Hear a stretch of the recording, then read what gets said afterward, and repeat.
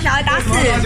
男子戴安全帽快步上车，警方借护移送。他就是狠心打死四岁男童的继父。十四号晚间，只因为儿子吃饭不乖，继父罚跪，还用脚踹、扫把殴打。凌晨又把儿子丢到门外不理，导致内出血死亡。发现被害男童身体有多处不明显的擦挫伤及瘀伤，初步研判是内出血伤重死亡。涉犯杀人罪嫌重大。且有勾串及逃亡之余，向法院申请羁押禁见。亲生儿子被痛殴，妈妈在场却不敢制止。凌晨四点把儿子抱进屋急救，仍无力回天，一直拖到晚间十点，继父才报警自首。两人半尸十八小时，声称是为了安顿其他孩子。阿玲看到那个囡仔小朋友吗？是这样啊。半夜我睡到一半，我就听小孩子在哭了，爸爸踹他了，也有拉他的头撞。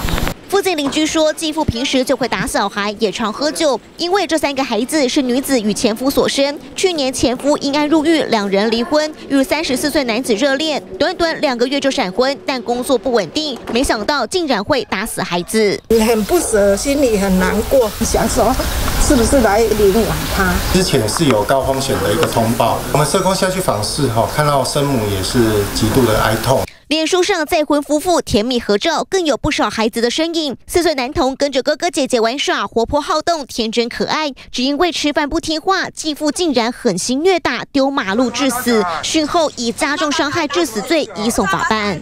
记者陈胜伟、韩志新、蔡敦英、张华报道。